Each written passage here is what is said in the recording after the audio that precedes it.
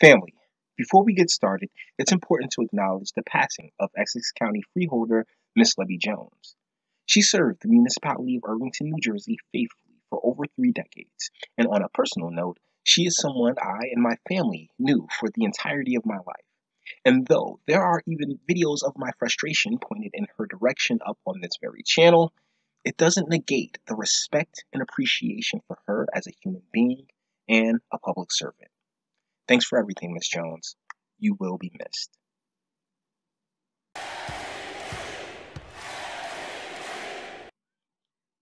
All right, fam, let's talk some official elected official stuff.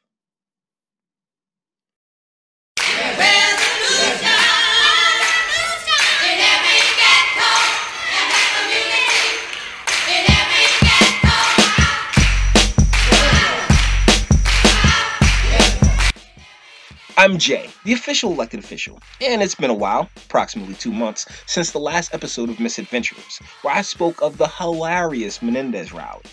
He won his re-election, the Blue Party got into the House and hit the ground running, from one newbie cursing Trump's name, impeachment filings, Alexandria Ocasio-Cortez's circus, the government shutdown, the endless investigations and leaked information just chucked at us from every direction, and that's only at the federal level.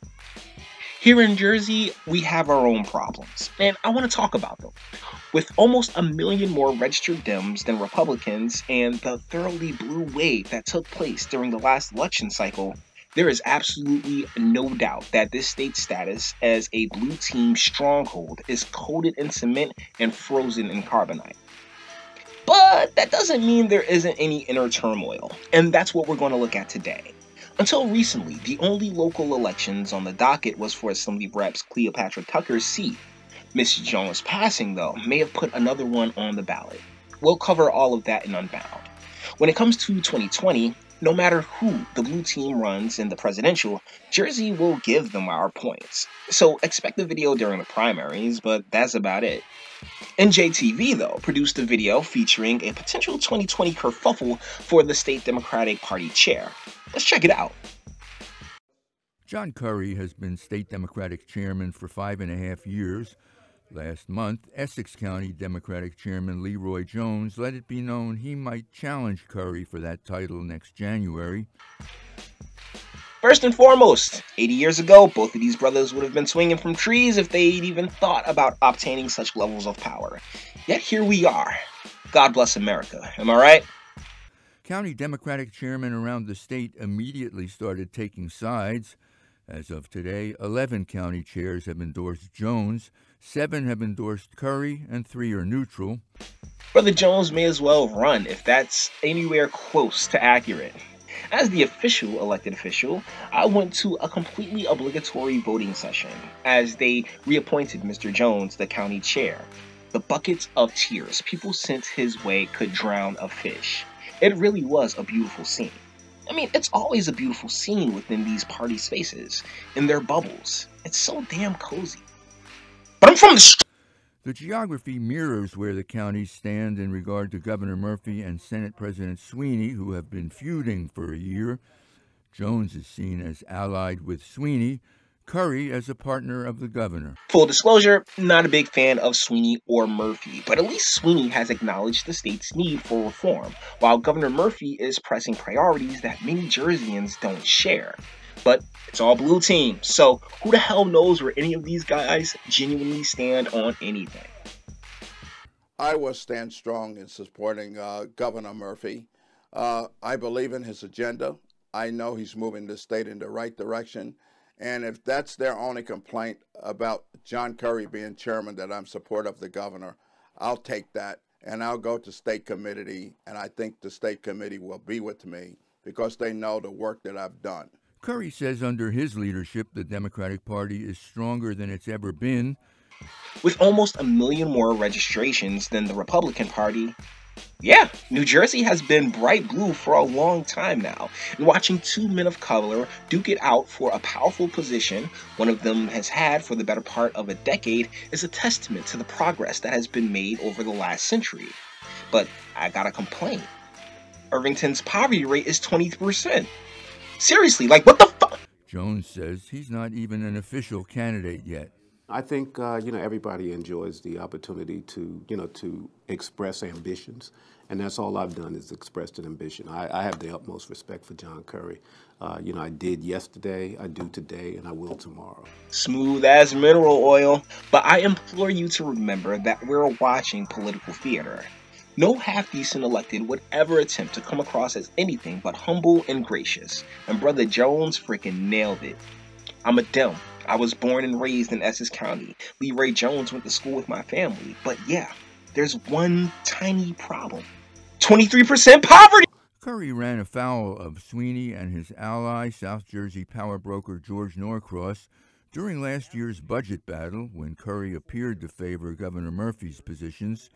Sweeney struck back last month by trying to weaken the state party chairs in the legislative redistricting process, an effort that failed. Now, putting up a candidate to challenge the state chairman looks like the latest sign that the party is divided. You know what? You can put any two people in a room, and I guarantee that there will be an eventual disagreement. So, to pretend as if everything would and should be hunky dory in any group as massive as the New Jersey Democratic Party is a ridiculous expectation. Let's be real. No matter who we're talking about, Murphy, Sweeney, Jones, or Curry, it's all blue team. And if they need to phalanx in order to stave off a bigger threat to their power, they'll rock with each other in a heartbeat. But what gives the Sweeney Jones tandem a smidge of credibility, at least in this commentator's opinion, is the willingness of Senate President Sweeney to at least acknowledge that reforms are needed and regular New Jerseyans are hurting. I mean, I don't think he's losing too much sleep over it. Peep that jacked up redistricting hustle he had to cancel. But as covered at nauseum on this channel, Governor Murphy's coronation wasn't particularly earned as much as it was purchased. And everyone got in line, but that has gone haywire because due to that fact, the governor doesn't have the machismo or the mandate or support to press anyone in either the assembly or the senate. It'd be hilarious if New Jersey didn't have all the problems that it does. I don't know if the party is divided. Maybe some people in the party that don't have their way. Uh, but I don't see this party as being divided. You know, we just had 500 people that came to Washington to support myself, the governor, and Cory Booker, who hosted a, a reception for them all. That's not a divided party. I had people from all over the state coming up saying they are with me, and I feel very good at where we're going in the future. Did you hear the dismissiveness in Mr. Curry's posture? Some people aren't getting their way. Bruh, people are abandoning this state in droves, largely because of the heavy handed taxing and virtual nanny state that New Jersey's become. Our flag says liberty and prosperity, but in the Garden State, you will find little of either. Jones is more willing to concede that the party is divided. Right now, is there a, a line drawn in the sand in the party? Clearly, there is. Um, you know, my goal is to uh, to try to help erase that line to the sand. Mr. Jones, where's that line and exactly what is on either side?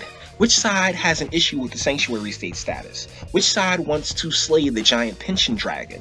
Which side wants to make New Jersey a place where it's actually a good decision to have a family here once again? New Jersey is too small to continue to ignore the pockets of poverty, namely the very urban and very loyal to the Democratic Party spaces within the state. So, which side has something more than a program to offer them? Which side believes in the nuclear family? Which side respects the differences between men and women? Which side sees that the best thing for any child is to be raised by the two people that made them? Which side believes in a law and order? Which side believes in the presumption of innocence? Which side believes in free speech? Which side believes in paternal and men's rights? Which side sees the drug war as a plague on the communities and families as it's proven to be? Which side? The Leroy Jones challenge to John Curry is really just a reflection of the Murphy Sweeney rivalry. With the chairman's election still a year away, this thing could break in one of several directions. I feel confident that I will be the state chair in 2020 as long as Governor Murphy wants me to be. And it's always been a policy, if you will, in our state party that the governor chooses his state chair. I'm glad he's confident, uh, you know, and uh, you know we'll see, uh, you know, how it all shakes out. That we will. Michael Aron, NJTV News, West Orange. Thanks, Mr. Aron and NJTV. All of this was used under fair use. So let's wrap this up. I don't think I asked for much. You know what? Okay, that's a lie. I'm asking people to care about something that they've never had to bother caring about before, namely the future of Irvington and the multiple municipalities around New Jersey that have been neglected and exploited for way too long. There's a part of me that knows this scenario of two black guys who have obtained such heights of power and aspire for even more should make me happy, should make me proud. But what's the point when there have been nothing but regression within our communities during their ascension? As to what could, would, or should happen in 2020, I won't speculate. It's over 300 days away, but I think it's Shakespearean that for all the progress black people have made individually, it seems to come at the expense of the same communities we supposedly represent. So, with that being said, Thanks so much for putting up with me. Please do all the internet stuff like, sub, share, speak. What do you think is going to be the most interesting race of 2020? Yes, to an extent, I'm writing off the presidential, but the local and state stuff is just so sexy. Hit me up in the comments, and until the next video, love. It's suicide! You've seen me to how strong